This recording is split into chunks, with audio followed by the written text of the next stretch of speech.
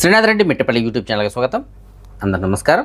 నేను మీ శ్రీనాథ్ రెడ్డి మిట్టపల్లి. ఇవాళ తరకు వచ్చి జూన్ పది రెండు వేల ఇరవై నాలుగు సంవత్సరం.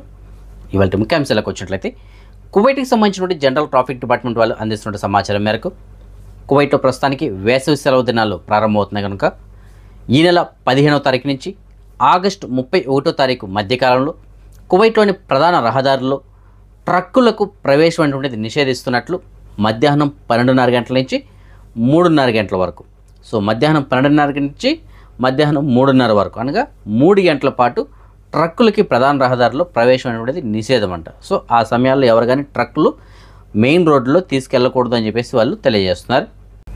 కువైట్కి సంబంధించినటువంటి ప్యాసీ అనగా public authority for civil information వాళ్ళు అందిస్తున్న సమాచారం మేరకు కువైట్లో ఎవరికైతే వారి యొక్క సివిల్ ఐడి పైన ఉన్నటువంటి అడ్రస్ ఏదైతే ఉంటుందో అది క్యాన్సిల్ అయ్యి ఉంటుంది చూడండి. అలాంటి వారు తప్పనిసరిగా మీ యొక్క అడ్రస్ని వీలైనంత త్వరగా అప్డేట్ చేయించుకోండి. అప్డేట్ చేసుకోకపోతే తక్కువలో తక్కువ అనుకుంటే వంద దినాల వరకు జరిమానా ఉంటుందని చెప్పేసి తెలియజేస్తున్నారు. ఎందుకంటే రీసెంట్గానే కువైట్లో ఒక బిల్డింగ్ని కూల్చివేశారు. ఆ బిల్డింగ్ని కూల్చివేసిన తర్వాత ఆ బిల్డింగ్ అడ్రస్ కలిగినటువంటి సుమారుగా మూడు వందల తొంభై ఏడు మందికి సంబంధించినటువంటి అడ్రస్లు ఎదురుగా క్యాన్సిల్ చేశారు. సో ఆ సందర్భంలో వీళ్ళు ఈ విషయాన్ని కూడా మరొకసారి తెలియజేశారు.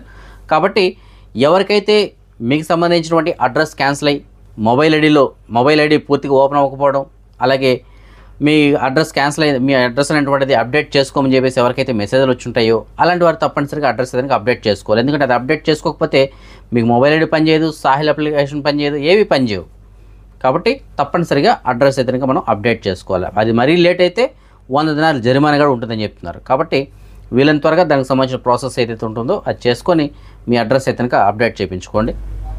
కువైట్కి సంబంధించినటువంటి అంతర్గత మంత్రిత్వ శాఖ వాళ్ళు తెలియజేస్తున్న సమాచారం మేరకు కువైట్లో ప్రస్తుతానికి క్షమాభిక్షతో కూడినటువంటి కానూన్ ఏదైతే ఉందో ఆ కానూన్ ఈ నెల పదిహేడో తారీఖు తోటి ముగియనుంది కదా.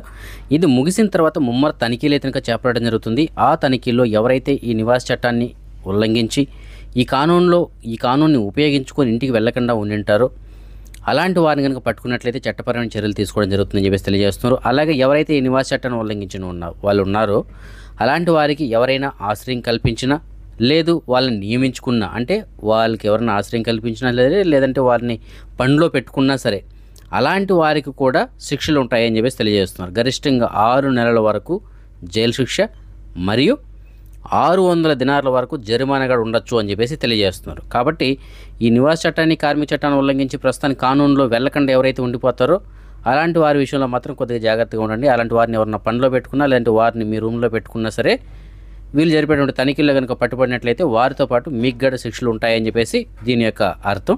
కాబట్టి ఈ విషయాన్ని కొద్దిగా గ్రహించగలరు. కువైట్లో పాలక కుటుంబానికి సంబంధించినటువంటి అంటే రూలింగ్ పార్టీ ఫ్యామిలీకి సంబంధించిన ఒక వ్యక్తికి మరణశిక్ష విధించింది. కువైట్కి సంబంధించినటువంటి న్యాయస్థానం. దీన్ని అప్పీల్ కోర్టు గడ సమర్థించింది. దీనికి సంబంధించిన వివరాలుగా మనం చూసుకున్నట్లయితే ఈ సంవత్సరం ఏప్రిల్ పదో తారీఖున ఈ కువైట్లో ఉన్నటువంటి ముబారక్ ఆల్ కబీర్ గవర్నరేట్లో అబ్దుల్ అజీజ్ అల్ జాత్రీ అనేటువంటి వ్యక్తిని తన ఇంటి ముందరే పన్నెండు రౌండ్ల కాల్పులు జరిపి ఒక వ్యక్తి అక్కడి నుంచి పారిపోయాడు. దాని తర్వాత అతను అక్కడికక్కడే ప్రాణాలు కోల్పోయాడు.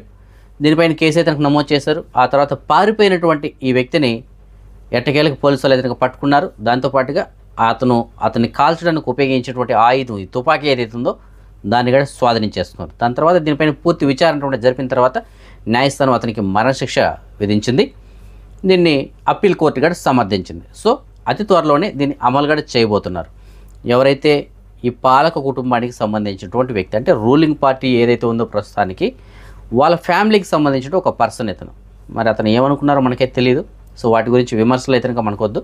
సో ఎందుకంటే కువైట్లో ఏదైనా సరే మనం ఒక విమర్శ అనేటువంటి చేసినట్లయితే అది ఎటు నుంచి ఎటు వెళ్తుందో మనకు తెలియదు సో ఏదైనప్పటికీ రూలింగ్ పార్టీకి సంబంధించినటువంటి ఒక ఫ్యామిలీకి సంబంధించిన వ్యక్తి. సో రూలింగ్ పార్టీ మందే కదా ఏం చేసినా జరుగుతుందిలే అనేసి అనుకున్నారేమో మరి అది మనకైతే తెలియదు కానీ మరి వారి మధ్య ఉన్నటువంటి పర్సనల్ గొడవలు ఏంటో కానీ అతను మొత్తం మీద అతన్ని తుపాకీతోటి పన్నెండు రౌండ్లు కాల్ కాల్పులు జరిపి చంపడం జరిగింది. సో ప్రస్తుతానికి ఇతనికి కూడా మరణశిక్ష ఇతనికి విధించింది. కువైట్కి సంబంధించినటువంటి న్యాయస్థానం. సో త్వరలోనే ఇది అమలు చేస్తారని చెప్పేసి తెలియజేస్తున్నారు. కువైట్లో హై స్కూల్ పరీక్షలకు సంబంధించినటువంటి పేపర్ లీకేజీ కేసులో ఒక పది మందిని అదుపులో తీసుకున్నారు. కువైట్కి సంబంధించినటువంటి క్రిమినల్ సెక్యూరిటీ సెక్టర్ వాళ్ళు. అది కూడా విద్యా మంత్రిత్వ శాఖ యొక్క సమన్వయంతో అంటే వారి యొక్క సహకారంతో వీళ్ళు ఆ పది మందిని అదుపులో తీసుకోవడం జరిగింది. ఆ పది మందిలో నలుగురు వచ్చి విద్యా మంత్రిత్వ శాఖలో పనిచేస్తున్నటువంటి ఉద్యోగులే ఉన్నారు. ఇంకొక ఆరుగురు వచ్చి సోషల్ మీడియా ఖాతాలు కలిగినటువంటి వాళ్ళు ఉన్నారు. సో మొత్తం మీద పది మందిని అదుపులో తీస్తున్నారు వీళ్ళు ఏం చేస్తారంటే ఈ హై స్కూల్కి సంబంధించి అంటే ఈ స్కూల్కి సంబంధించిన ఎగ్జామ్స్ ఏవైతే ఉంటాయో వాటికి సంబంధించిన ప్రశ్న పత్రాలని ముందస్తుగా వీళ్ళు లీకేజ్ చేశారు. అంటే బయట సోషల్ మీడియాలో లీక్ చేయడం జరిగింది. సో ఇది కాస్త బయటపడడం దాని తర్వాత విచారణ జరపడం విచారణ జరిపిన తర్వాత ఈ పది మందిని వాళ్ళు అదుపులో తీసుకున్నారు. కువైట్లో మహిళా ఖైదీలకు సంబంధించినటువంటి సెంట్రల్ జైలు ఏదైతే ఉందో ఈ జైల్లో అధికారులు ఆకస్మిక తనిఖీలు చేపట్టారు. ఈ తనిఖీల్లో పదునైనటువంటి ఆయుధాలు మాద ద్రవ్యాలు అలాగే మొబైల్ ఫోన్లు కూడా స్వాధీనం చేసుకున్నట్లు తెలియజేస్తున్నారు. కువైట్కి సంబంధించిన వాతావరణ శాఖ వాళ్ళు అందిస్తున్న సమాచారం మేరకు కువైట్లో ఇవాళ వాతావరణం ఎలా ఉండిందో మనం చూసాం కదా. మ్యాక్సిమం ఋతుభాయతనిక ఉండింది. అయితే ఉరుములతో కూడినటువంటి చెదురుముదురు వర్షాలు కువైట్ వ్యాప్తంగా అక్కడక్కడ పడడానికి అవకాశాలు ఉంటాయని చెప్పేసి తెలియజేస్తున్నారు. అలాగే గాలులు కూడా యాభై కిలోమీటర్ల వేగంతో వేయడానికి అవకాశం ఉంటుందని చెప్పేసి తెలియజేస్తున్నారు. కువైట్కి సంబంధించినటువంటి అమీర్ అయినటువంటి Sheikh Mishal Al Ahmad Al Jaber Al Sabah గారు నిన్న మన భారతదేశ ప్రధానమంత్రిగా మూడోసారి ప్రమాణ స్వీకారం చేసినటువంటి నరేంద్ర దామోదర్ దాస్ మోడీ గారికి అభినందన సందేశాన్ని పంపించారు. కువైట్కి సంబంధించినటువంటి న్యాయస్థానం ఒక పోలీస్ అధికారికి రెండు సంవత్సరముల కఠిన కారాగార జైలు శిక్ష విధించింది. అది ఎందుకు ఏమిటని మనం కనుక చూసుకున్నట్లయితే ఒక వ్యక్తి పైన అనుమానం కలిగింది పోలీస్ అధికారికి అతనికి మాదురాయాలు కలిగి ఉన్నాడు అని చెప్పేసి. సో దాంతో అతను అతని అదుపులో తీసుకోవడానికి ప్రయత్నం చేశాడు. అదుపులో తీసుకున్నటువంటి క్రమంలో ఆ వ్యక్తిని పోలీస్ అధికారి చాలా బలంగా దవడపైన గట్టిగా పీకాడు. అంటే అతను కొద్దిగా ఏదైనా గట్టిగా వాదించుంటాడు. దాంతో పోలీస్ అధికారి దవడపైన గట్టిగా పీకాడు. దాంతో అతనికి కొద్దిగా గాయంగా అయింది. అయితే ఆ వ్యక్తి ఏం చేశాడంటే రివర్స్లో పోలీస్ పైన కేసు పెట్టాడు. సో ఇతను నా పై- దవడపైన చాలా గట్టిగా కొట్టడం జరిగింది. సో ఆ కారణం చేత నాకు ఏ విధంగా గాయమైంది. సో దానికి సంబంధించిన మెడికల్ రిపోర్ట్స్ అవన్నీ కూడా సబ్మిట్ చేశాడు.